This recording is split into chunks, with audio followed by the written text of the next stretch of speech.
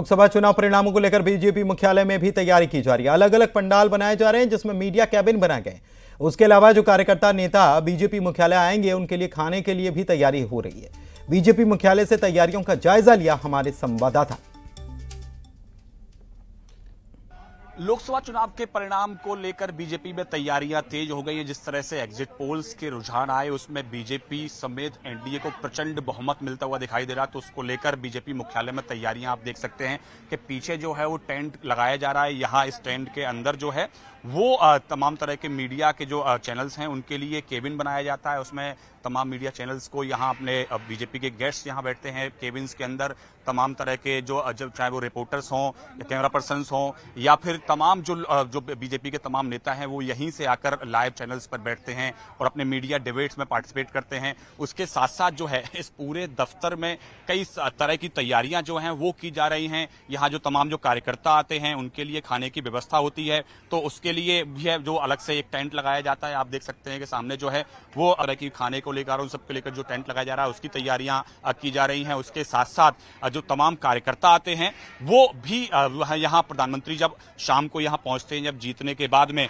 तो वो प्रधानमंत्री तमाम कार्यकर्ताओं को संबोधित करते हैं तो उसको लेकर भी यहाँ आगे टेंट लगाया गया है। तो तमाम तरह की तैयारियाँ जो हैं कल के जो रिज़ल्ट है, उसको लेकर बीजेपी मुख्यालय में तैयारियाँ जो हैं, वो की जा रही हैं। अब बस कुछ समय का इंतज़ार है और जब चुनाव परिणाम आएगा तो भी यहाँ तमाम तरह के आयोजन शुरू हो जाएँगे। कैमरा संजय वर्मा के साथ पवन गौड़ नपकेट टीम, दिल्ली। एग्जिट पोल के आंकड़े चाहे कुछ भी कहें, लेकिन इंडिया गठबंधन अपनी जीत को लेकर भरोसे मंद है। भरोसा जता रहा आश्वस्त है। चार जून को रिज़ल्ट अपने पक्ष में आने की संभावनाओं को देखते हुए कांग्रेस अभी से जश्न के मोड में आ चुकी है। कांग्रेस अपने मुख्यालय में तमाम तरह की तैयारियाँ कर रही है। सूत्रों का कहना है कि नतीजे पक्ष में आने पर बड़ा जश्न होगा। हालाँकि इस पर फाइनल मुहर कल ही लगेगी। चुनाव की मतगणना में अब कुछ घंटों का समय बाकी है। ऐसे में सभी राजनीतिक दफ्तर पूरी तरीके से तैयार किए जा रहे हैं कि जब मतगणना होगी तो उनके कार्यकर्ता जश्न का माहौल बना सकें। इंडिया गठबंधन यूँ तो दावा कर रहा है कि दो प्लस सीटें जीतेगा। हालाँकि एग्जिट पोल्स में बीजेपी को बड़ी, बड़ा दिखाई गई है।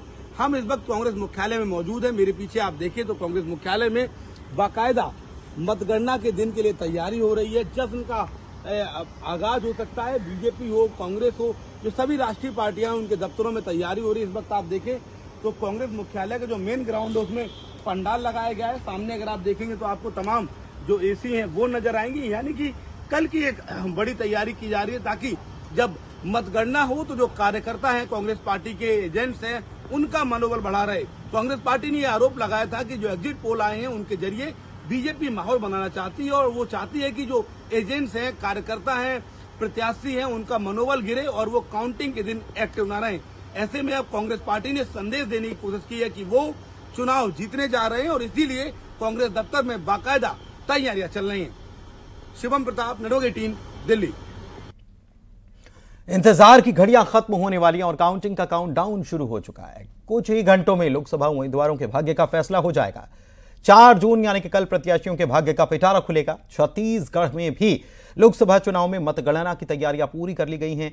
छत्तीसगढ़ में 11 लोकसभा सीटों के लिए 220 प्रत्याशियों के भाग्य का फैसला होगा। पहले इकतालीस डाक मतपत्रों की गिनती हो गई। डाक मतपत्रों की गिनती के बाद सुबह करीब साढ़े आठ बजे ईवीएम खुलेंगी। मतगणना स्थल पर सुरक्षा के तगड़े इंतज़ाम किए गए हैं। बारह से ज़्यादा जवानों की तैनाती की गई है।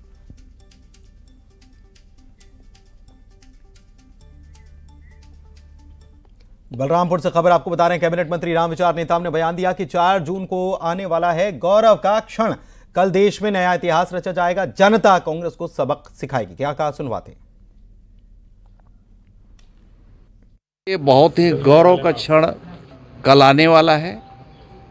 जब देश एक नया इतिहास लिखने के लिए, माननीय नरेंद्र मोदी जी की ताशपोशी करने के लिए यहाँ से भारी मतों से चिंतामणि महाराज जी को जिताने के लिए लोग वोट किए हैं उस वोट का, उस मत का कल मतगणना होगा और इसलिए कल का दिन हम सब के लिए बहुत ही गौरव का दिन है।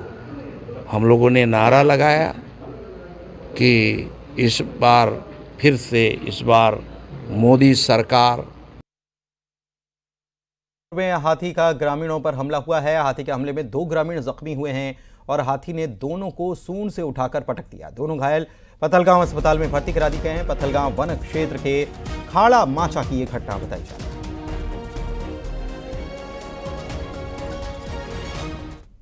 कोरबा में हाथी की दहशत देखने को मिल रही है। हाथी ने एक मकान तोड़ दिया, जिसके बाद परिवार ने घर से भागकर अपनी जान बचाई। वन विभाग की टीम अब हाथियों की निगरानी करने में जुटी हुई है।